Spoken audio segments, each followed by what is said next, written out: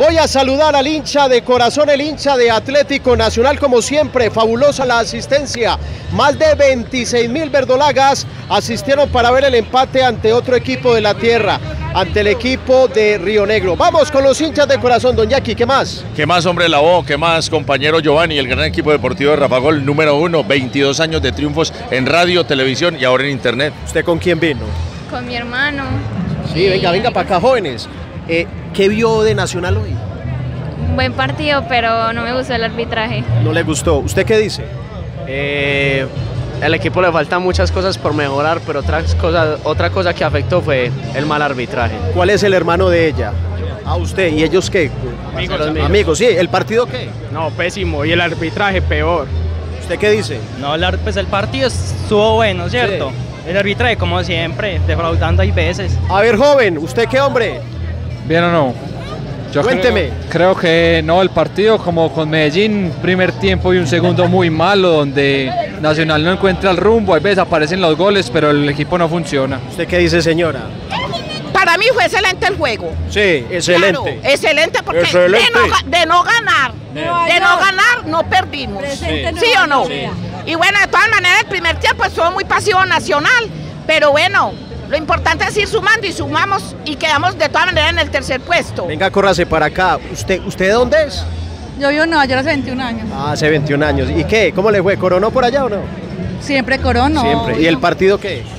Bien, bien. Vamos para arriba, vamos para arriba, vamos a seguir sumando. Muy malo. Un saludo para todos. Saludos. ¿Usted qué dice del partido? Estuvo muy bueno. La verdad está. Yo pensé la verdad que iban a ganar las águilas, pero al fin quedamos empatados. Eso es lo Deme un bueno. besito. Que Dios me la bendiga. Sigo saludando al hincha de corazón. Venga, joven. ¿Ese candado que botó la llave o qué? Ahí la llevan, ahí la llevan. ¿Y el partido? No, pues hermano. Ave María, hay que trabajar mucho. A Autori le toca camellar en forma. Hay que traer mucho. Mañana madruga a las 5. Ave María. ¿Usted qué dice el partido? Esperábamos un poquito más. Sí. Pero bueno.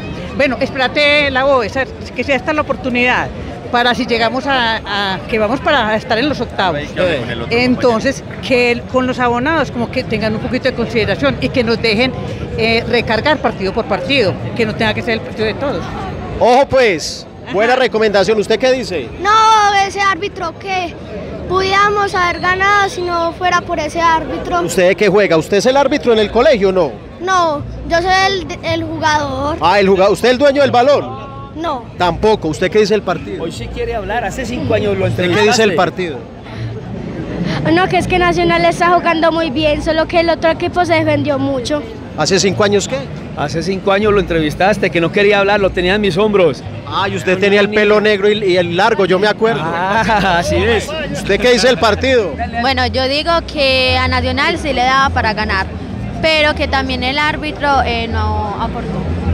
Eh, a Nacional le falta ritmo y juega muy lento. Tiene que meterle más ganas. Aquí voy a terminar, vea, con ustedes, con los hinchas de corazón, los mejores. Hagan así, señores, los hinchas verdolagas. Oiga, joven, usted parece una papa salada. Parece que sí, pero buen empate. Los dos equipos jugaron muy bien.